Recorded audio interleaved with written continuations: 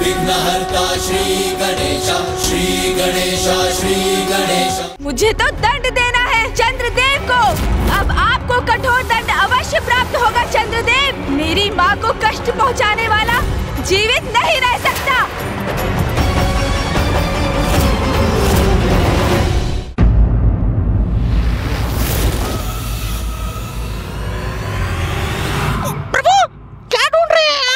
अरे मूषक जी, आप इतना भी नहीं समझते क्या? माँ के समक्ष ऐसे ही चला जाऊँगा तो क्या वो व्यथित नहीं होंगी?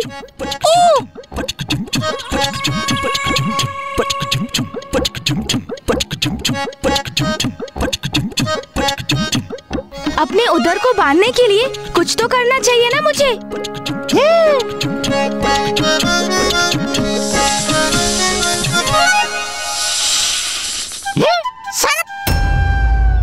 प्रभु, मैं आपकी कुछ सहायता करूँ? आप मुझे अपने उधर पर बाँध लीजिए। हाँ अवश्य। धन्यवाद।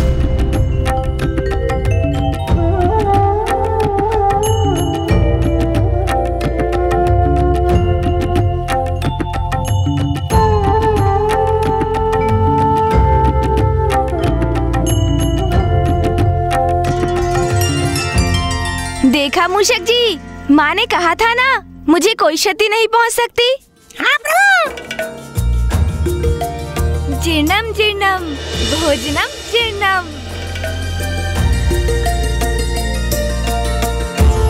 गणेश जी कुशल है। अब सब कुछ यथावत हो गया।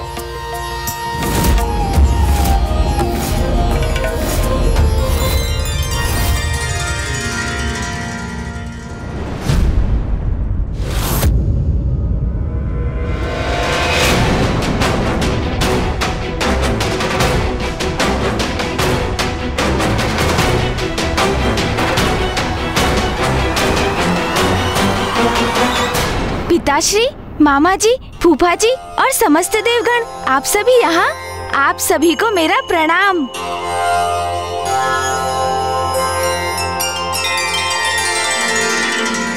प्रतीत होता है, मुझे लौटने में बहुत विलंब हो गया। जिसके कारण माँ ने चिंतित होकर आप सभी को यहाँ मुझे ढूँढने भेज दिया। किंतु पिताश्री, मैं तो पूर्ण रूप से कुशल हूँ। हाँ उधर में थोड़ी सी पीड़ा अवश्य है। किंतु चिंता का कोई कारण नहीं।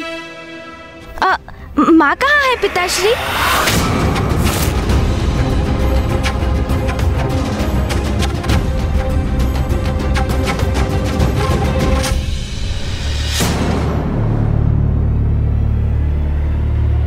गणेश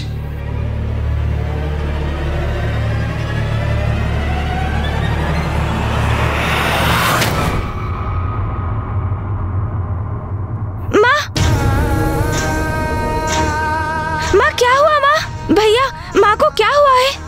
अनुज गणेश माँ तो तुम्हें लेकर ही चिंतित थी। किंतु अब अब तुम चिंता मत करो। माँ शीघ्र ही कुशल हो जाएँगी। हाँ गणेश जी आप कुशल हैं। इसी में माता की चिंता दूर होगी और वो सामान्य हो जाएँगी। पुत्र गणेश सूर्यदेव उचित कह रहे हैं। तुम चिंता मत करो। तुम्हें आहत देखकर देवी पार्वती मूर्छित हो गई थी। किंतु अब जब तुम सकुशल हो, देवी पार्वती भी स्वस्थ हो जाएँगी। माँ, देखिए ना माँ माँ, मैं पूर्ण रूप से कुशल हूँ माँ। मुझे क्षमा कर दीजिए माँ। मेरे कारण ही आपकी अवस्था हुई है माँ।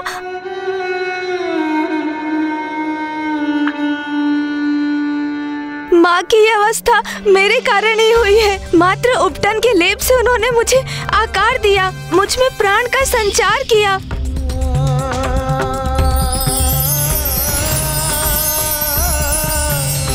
अस्तित्व तो उन्हीं से है। और मैंने क्या दिया उन्हें? दुख, पीड़ा और अश्रु? कितनी बार मेरे कारण रुदन करेंगी वो? सभी की मान्यता तो ये है कि संतान माता पिता के लिए आशीर्वाद के समान होती है। किंतु मैं मैं तो सदा उनके कष्ट का कारण ही बनता हूँ। कितना अयोग्य पुत्र हूँ मैं। माँ अपने गणेश को देखिए माँ नेत्र खोलिए।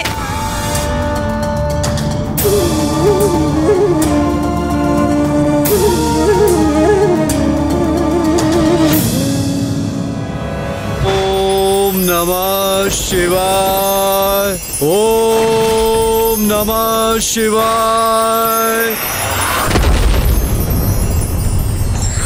ओम नमः शिवाय। पुत्र भौम का तप तो और भी प्रचंड एवं उग्र होता जा रहा है। कहीं इसके उग्र तप से उत्पन्न ऊर्जा कैलाश पर कोई और संकट न उत्पन्न कर दे। ओम नमः शिवाय। अरे गणेश में ऐसा क्या विशेष है? मैं बनूँगा महादेव का परम प्रिय पुत्र। विवश कर दूँगा महादेव को कि वो मुझे अपने अति प्रिय पुत्र के रूप में स्वीकार करें। ऐसा कठोर तप करूँगा मैं।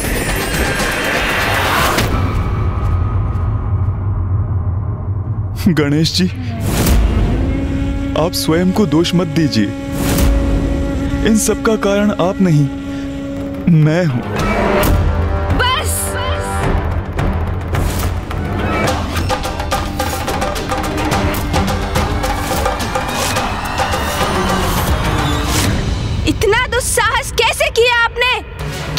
समझते हैं आप स्वयं को। आप मेरा उपहास करते रहे मैं शांत रहा। आप मुझ पर हँसते रहे मैं शांत रहा। कितनी विचित्र आकृति है ना आपकी। विशाल काय गज का शीश। और उधर मानो अन्न का भंडार हो। किंतु अब देखिए देखिए उस परिहास का परिणाम।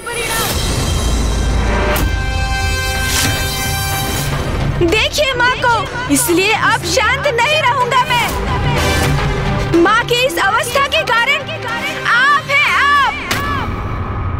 पुत्र गणेश। नहीं पिताश्री। पिताश्री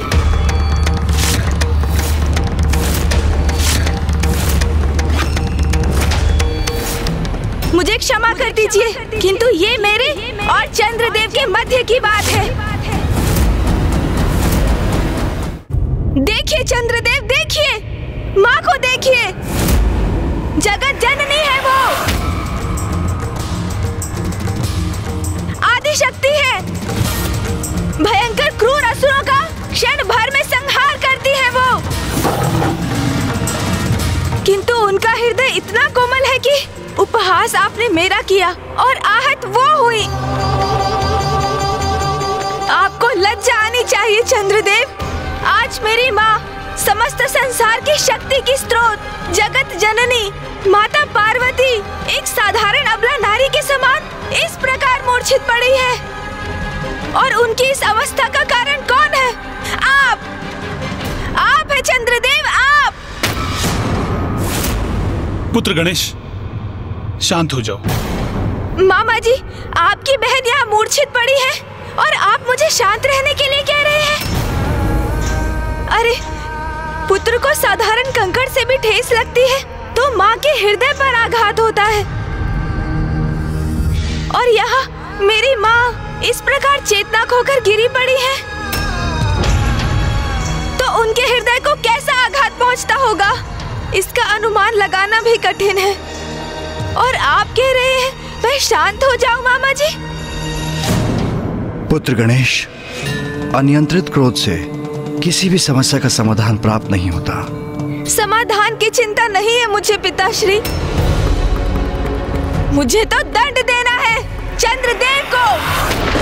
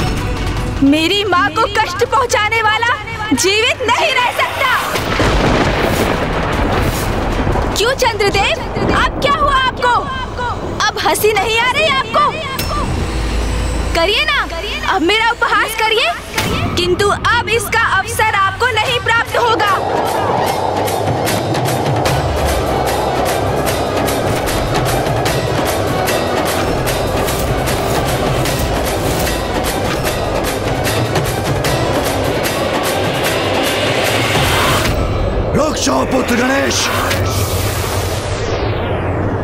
ऐसा मत करो। मत करो चंद्रमा तो प्रकृति के अनन्य भाग हैं। प्रकृति के संचार में उनका मुख्य योगदान है। उन्हें नष्ट नहीं कर सकते तुम पुत्र। अन्यथा प्रकृति का संपूर्ण सृष्टि का संतुलन बिगड़ जाएगा। नहीं, पिताश्री। भूल हो अथवा अपराध, दोनों का दंड अवश्य प्राप्त होना चाहिए। ये भी प्रकृति का ही नियम है। प्रथम पूज्य गणेश जी विघ्नहर्ता गणेश जी क्षमा कर दीजिए क्षमा कर दीजिए प्रभु।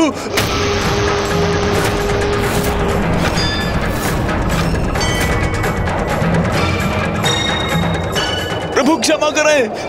प्रभु क्षमा कर दीजिए प्रभु। रुक जाओ अनुज गणेश। चंद्रदेव ने मात्र परिहास किया था। उन्हें क्या ज्ञात था कि उनके उपहास का ये परिणाम होगा? माँ अपनी मूर्छा से बाहर आई। अन्यथा अनर्थ हो जाएगा। माँ, उठिए। उठिए, माँ।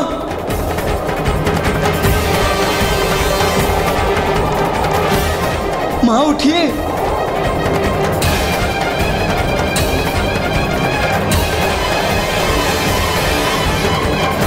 उठिए, माँ, उठिए। अपनी मूर्छा से बाहर आइए, माँ।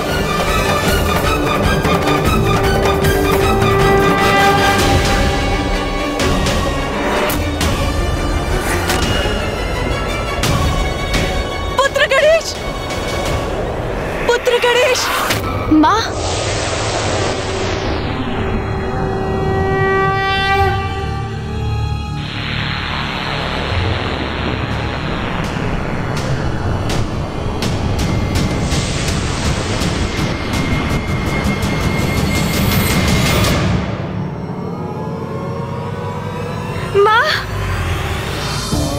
कुशल है माँ?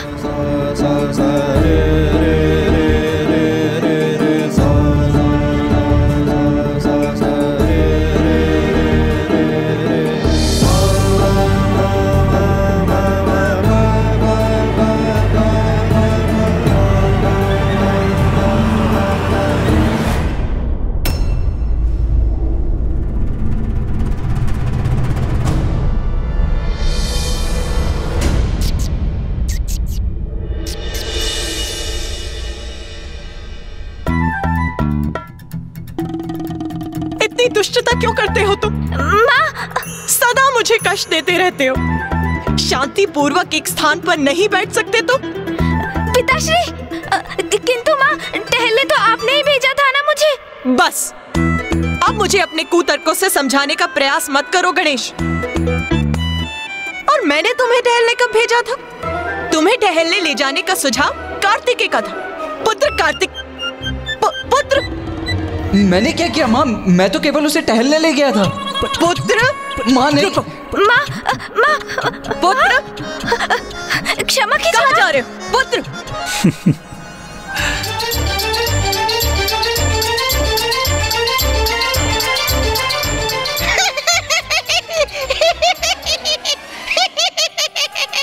तुम क्या हंस रहे हो यहाँ? क्षमा माता। तुम तो अपने नाथ के साथ अपने प्रभु का ध्यान नहीं रख सकते थे तुम।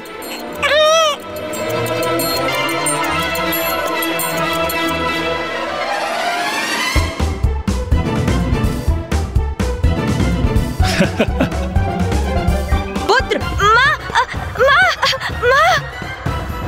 पिताश्री प्रिय। आप तो दूर ही रहिए नाथ। सदा आप मेरे पुत्रों के मध्य आ जाते। हैं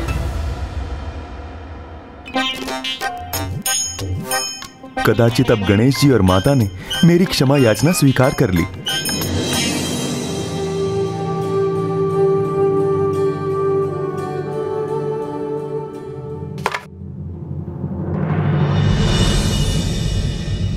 ये तो मेरा सौभाग्य है। मेरा पुत्र मेरा गणेश सर्वथा कुशल है।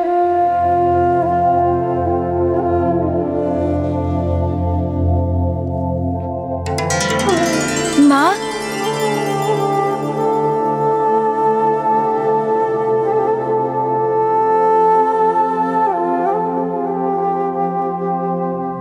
उमा जो समस्त सृष्टि का आधार है भला उसे कोई क्या क्षति पहुँचा सकता है?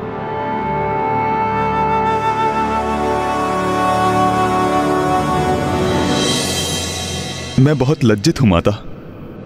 मुझे क्षमा कर दीजिए। मुझे वास्तव में तनिक भी अनुमान नहीं था कि मेरा ये सरल परिहास गणेश जी के लिए इतना हानिकारक हो जाएगा।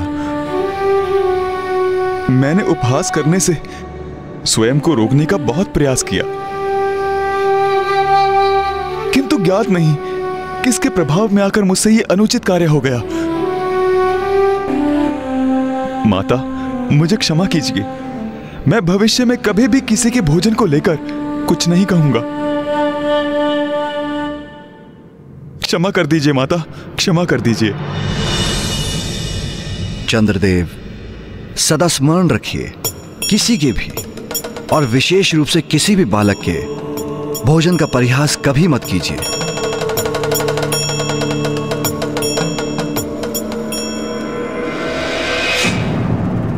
ये ये क्या माँ? आपके शरीर में ये कंपन कैसा? मैं भयभीत हो गई थी पुत्र। एक माता अपनी संतान की रक्षा के लिए सिंहनी बन संघर्ष करती है। किंतु उसे इस अवस्था में अचेत देखकर बिखर पी जाती। मैं तुम्हें अचेत इस अवस्था में देखकर टूट गई थी पुत्र। अब कोई संकट शेष नहीं। अब हमें लौटना चाहिए।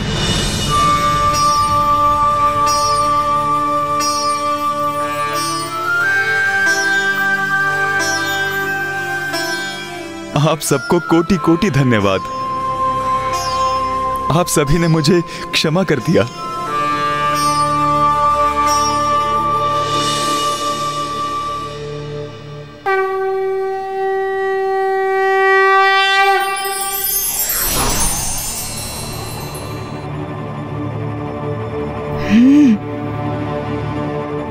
क्या हुआ पुत्र? चलो, मैंने चंद्रदेव को क्षमा कर दिया है। किंतु माँ, मैंने उन्हें क्षमा नहीं किया है।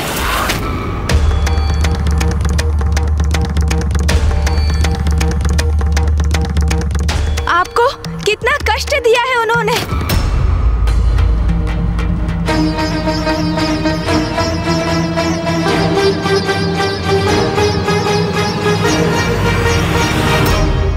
चंद्रदेव, मैं दंड स्वरूप आपके प्राण तो नहीं लूँगा। किंतु आपको पूर्ण रूप से क्षमा भी नहीं करूँगा मैं।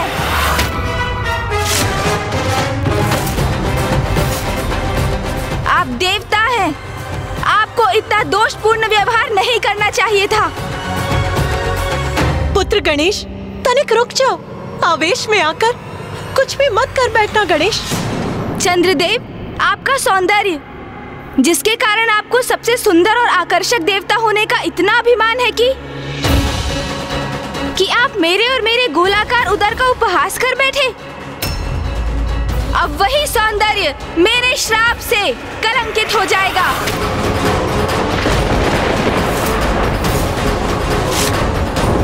आपके इस मनोहर रूप पर जिसकी भी दृष्टि पड़ेगी, चंद्रदेव, वो कलंकित हो जाएगा।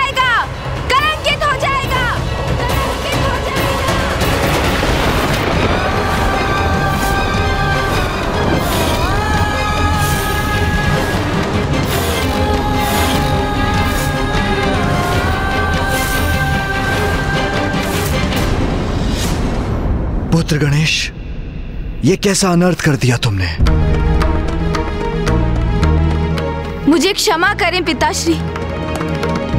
जो मैंने किया वो सर्वथा उचित है।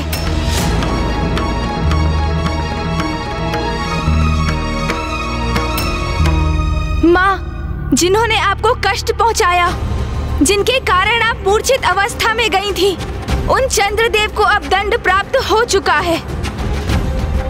अब लौट चलिए माँ।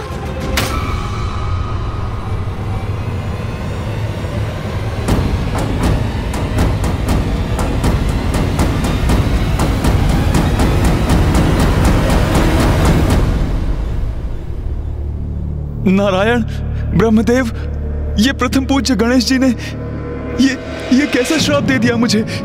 चंद्रदेव गणेश के श्राप के कारण हम सभी आपको देख पाने में असमर्थ हैं।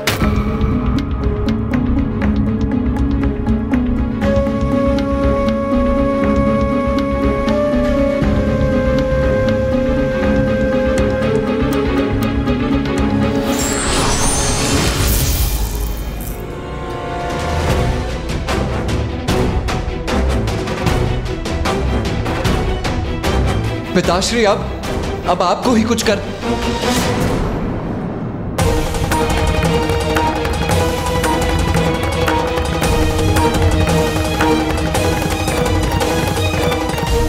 अब तो महादेव ने भी मुझसे मुख मोड़ लिया। अब तो कोई मेरी सहायता नहीं कर सकता। अब इस श्राप के प्रभाव से कभी मुक्त नहीं हो पाऊँगा कुमार कार्तिकेय। कभी मुक्त नहीं हो पाऊँगा।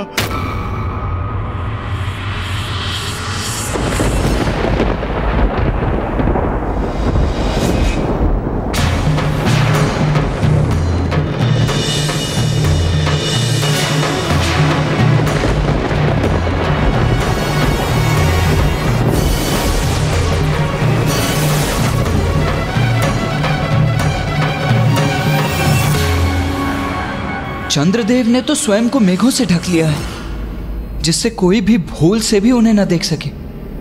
किंतु इससे तो रात्रि अंधकारमयी हो गई है। यदि ऐसा ही रहा तो रात्रि में कोई कुछ नहीं देख सकेगा।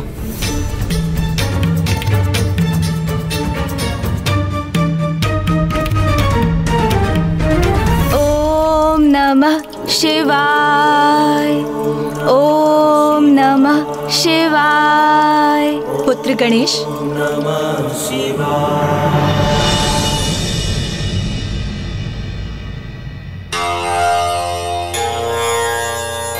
प्रणाम माँ।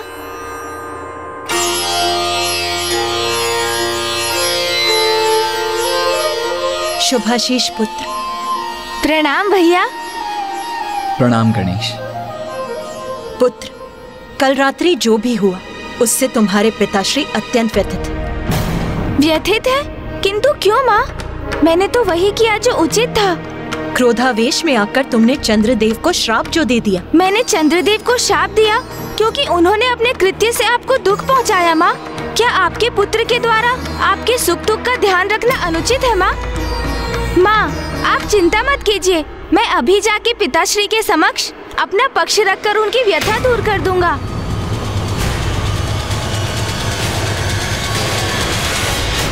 ये कैसी विकट परिस्थिति उत्पन्न हो गई? किसी भी माँ को ऐसी स्थिति का सामना कभी नहीं करना चाहिए कि उसके कारण उसके पति और पुत्र के मध्य दुराव उत्पन्न हो जाए।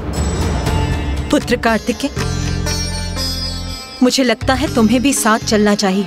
मुझे आभास हो रहा है कि स्थिति बड़ी तनावपूर्ण होने वाली जी, उचित है माँ।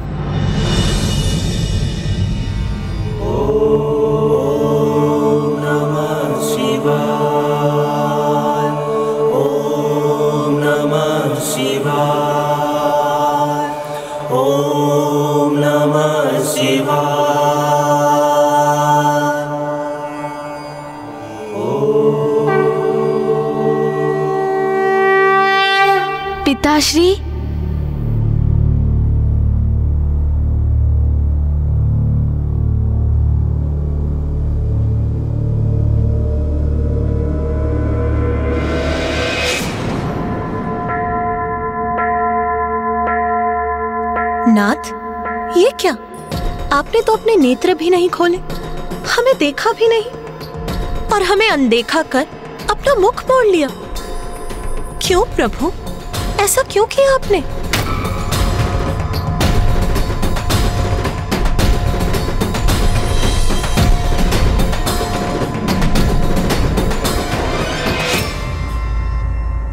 पिताश्री, क्या मुझसे कोई भूल हुई है? क्या आप इसलिए कुपित हैं पिताश्री? कि मैंने चंद्रदेव को दंडित किया? भूल तो तुमसे हुई है गणेश। अपने क्रोध में तुमने चंद्रमा पर दृष्टि डालने वाले को कलंकित होने का श्राप दे दिया। और इसी कारण से अब मैं किसी को भी अपने दर्शन देने में असमर्थ हूँ। क्योंकि चंद्र प्रति छाया रूप में मेरे शीश पर भी विराजते हैं। इसलिए जो मेरे दर्शन करता है वो चंद्र के भी दर्शन करता है। इसलिए अब मेरे दर्शन करने वाले चंद्र पर दृष्टि डालने के कारण कलंकित हो जाएँगे। इसलिए अब मैं किसी को भी किसी को भी अपने दर्शन करने की अनुमति नहीं दूँगा। न मेरे भक्तों को, न कार्तिके, न गणेश, और ना तुम उमा। तुम भी नहीं।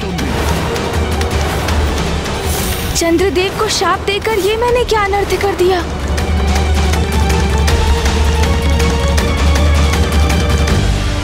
नाथ, ये आप क्या कह रहे हैं? आपके दर्शन करे बिना मैं जीवित कैसे रहूँगी जैसे वृक्ष का अपने जड़ के बिना सरिता का अपने जल धारा के बिना अर्थात जीवन के आधार के बिना कोई अस्तित्व नहीं।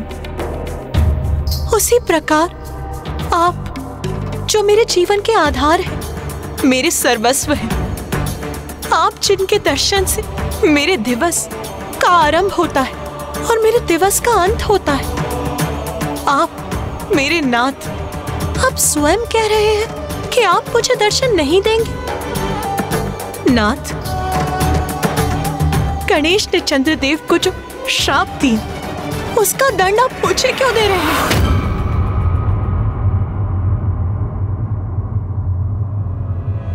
उमा, जब तुम अपने पुत्र को अचेत अवस्था में देखकर क्रोधावेश बह रही थी, तब भी मैंने तुम्हें चंद्र देवता को क्षमा करने के लिए कहा था। हम जगत पिता और जगत जननी हैं। और अपने कर्तव्यों का निर्वाह करने हेतु अपने हृदय को कठोर कर हमारा अपनी भावनाओं को भी तिलांजलि देना आवश्यक है। यही बात मैं गणेश को समझाने का प्रयास कर रहा था। वो प्रथम पूज्य है। उसका क्रोध में अपना नियंत्रण खोना कदापि स्वीकार्य नहीं। और अब जब उसने मुझे अनसुना कर श्राप दे दिया तो हमें भी उसका परिणाम तो सहना ही पड़ेगा।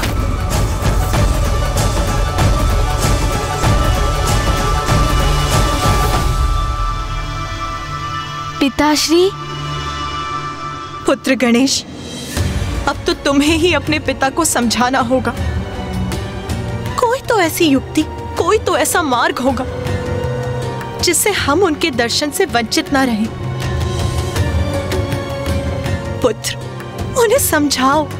उन्हें शांत करो, पुत्र। पिताश्री, मुझे क्षमा कर दीजिए। मैंने क्रोधवश आपका अनुवाद नहीं सुना। मुझे क्षमा कर दीजिए। किंतु ये भी सत्य है, पिताश्री, कि चंद्रदेव को शाप देने में मैं तनिक भी दुखी नहीं हूँ। आप जगत पिता है, पिताश्री, और माँ जगत जननी। ये भी सत्य है। किंतु ये भी सत्य है कि मेरे लिए, अर्थात अपने पुत्र गणेश के लिए आप भी पिता है और माँ मेरी माता। और यदि कोई मेरी माँ को पीड़ा पहुँचाएगा तो उसे मैं कदापि सहन नहीं करूँगा।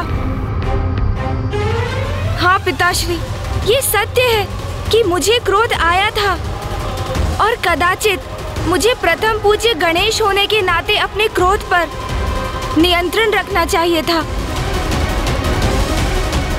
कदाचित मुझे चंद्रदेव को क्षमा भी कर देना चाहिए था। किंतु अपनी माँ का पुत्र होने के नाते, जब अपनी माँ को, जो आदि शक्ति है, उनके शरीर में मैंने कंपन देखा। ये क्या माँ? उन्हें भूमि पर असहाय मूर्छित देखा। पीड़ा से उनका हृदय आघात होते देखा। उनके अश्रु देखे। तो मैं स्वयं को कैसे रोकता पिताश्री? माँ तो कभी भी किसी से अपनी पीड़ा नहीं कहती है। बार बार मेरे भैया और अथवा स्वयं आपके कारण उनके हृदय पर आघात होते रहता है। किंतु वो निशब्द रहकर उन पीड़ाओं को सह लेती हैं। क्या ये उचित है पिताश्री? चंद्रदेव को मैंने इसलिए शाप नहीं दिया क्योंकि उन्होंने मेरा उपहास किया। वो तो मैं भूल चुका था पिताश्री। मैंने उन्हें इसलिए शाप दिया क्योंकि उनके कृत्य से मेरी माँ को अपार वेदना सहनी पड़ी। वो टूट गई थी और इसलिए मुझे चंद्रदेव को शाप देने का कोई पछतावा नहीं है पिताश्री। पुत्र गणेश, अब एक और शब्द नहीं। रुक जाओ पुत्र। ये भावनाओं के कैसे भवन में फंस गई हूँ मैं? कैसी स्थिति है ये? एक और मेरा पुत्र, जो मेरे प्रति अपना स्नेह, अपनी निष्ठा को व्यक्त कर रहा है, और दूसरी ओर मेरे कर्तव्य निष्ठ पति, जिनके लिए उनके दायित्व ही सर्वोपरि है, जो अपने परिवार को ही दंडित कर हमें ये स्मरण करा रहे हैं कि अपार शक्ति होने के साथ साथ बड़े उत्तरदायित्व भी निभाने होते हैं। आपके इस कथन का क्या अर्थ है, उमा? क्या मैं केवल कर्तव्य से बंधा पति हूँ? ये तो आपको भी ज्ञात है कि मेरे लिए दायित्व सर्वोच्च है। क्योंकि उनमें संपूर्ण सृष्टि का सभी चराचर जीवों की भलाई निहित है। किंतु आपका ये कहना कि मुझे अपने परिवार की चिंता नहीं ये सर्वथा अनुचित है।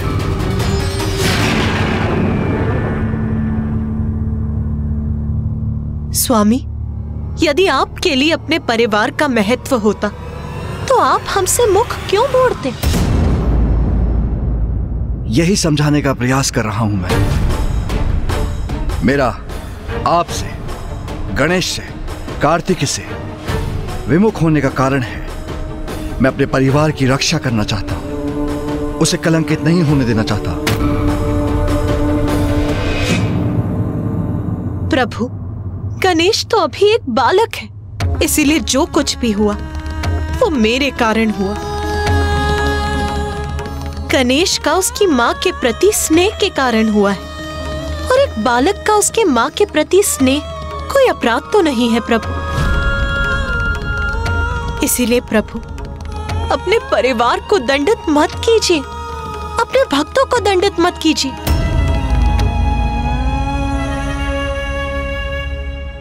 उमा कल जो हुआ था, वो गणेश के क्रोध के कारण हुआ था। प्रथम पूज्य देवता होने का दायित्व समझना होगा उसे। उसे समझना होगा कि उसके लिए व्यक्तिगत भावना का कोई स्थान नहीं। उसका जीवन मात्र और मात्र जगत कल्याण के लिए ही समर्पित है। और यह भी कि प्रत्येक क्रिया की प्रतिक्रिया होती है। प्रत्येक कर्म का परिणाम होता है। उमा, गणेश मेरा पुत्र है तो चंद्रदेव भी तो मेरे पुत्र के ही समान है। अपने पुत्रों के मध्य भेदभाव नहीं कर सकता मैं। उमा, मेरे पुत्र गणेश ने मेरे ही पुत्र चंद्रदेव को श्राप दिया।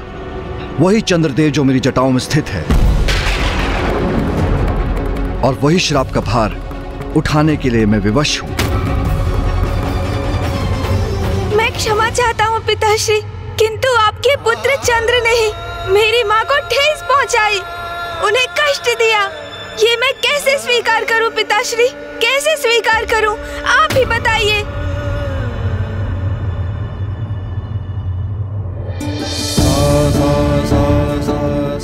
जो एक पुत्र को लगा, उसने किया।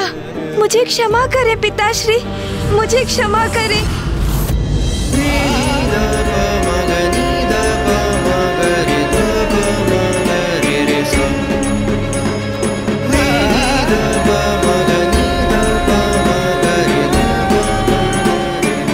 गणेश, कुछ भी सुनने और समझने को तैयार क्यों नहीं हो रहा है?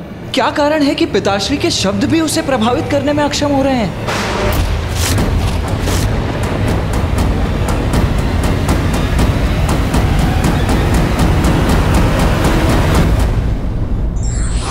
यदि कोई स्वयं से अपना नियंत्रण खो बैठे तो धैर्य से काम लेकर स्थिति को सामान्य बनाने का प्रयत्न करना चाहिए। जो कुछ भी मेरे समक्ष है, वे सब मेरे कारण ही कलंकित हो रहे हैं। ये कैसी कालीमा छा रही है? अब मैं किसी को अपना मुख नहीं दिखाऊँगा। मैं सदा के लिए इस जलकुंड में छिप जाता हूँ, और इसके भीतर मुझे कोई देख नहीं सकेगा।